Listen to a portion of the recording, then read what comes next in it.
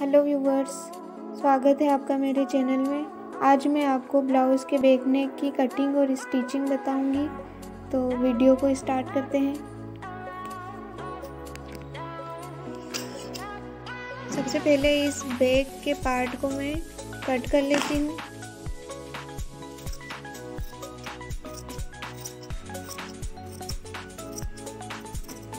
जहाँ जहाँ पे भी मैंने निशान लगाया है, वहाँ से मैं इसको कट कर लूँगी।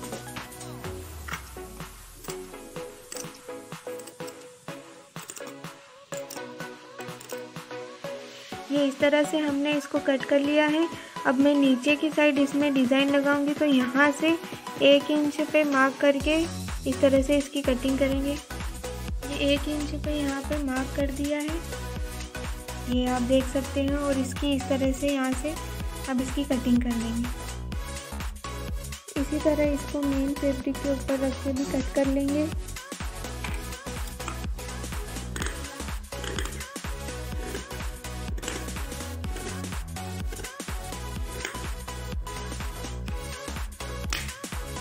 ये पूरे पे कट कर लेंगे।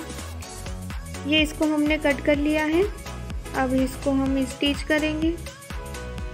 तो ये इस तरह से मैं इसको अंदर ही फोल्ड करूँगी। तो ये यहाँ पे सिलाई लगा दी है और ये कट लगा दिए हैं। ये आप देख सकते हैं।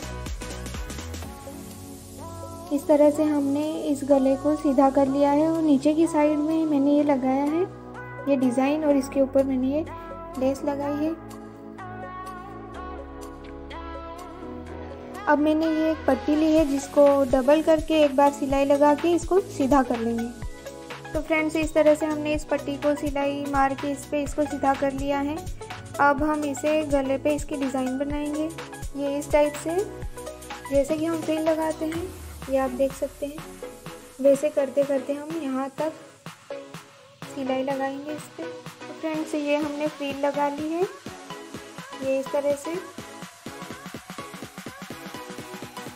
तो ये हमारे बैग नेक का डिज़ाइन तैयार हो गया है। इसमें मैंने इधर लेस लगा दी है दोनों साइड में और यहाँ नीचे भी ये लेस लगा दी है।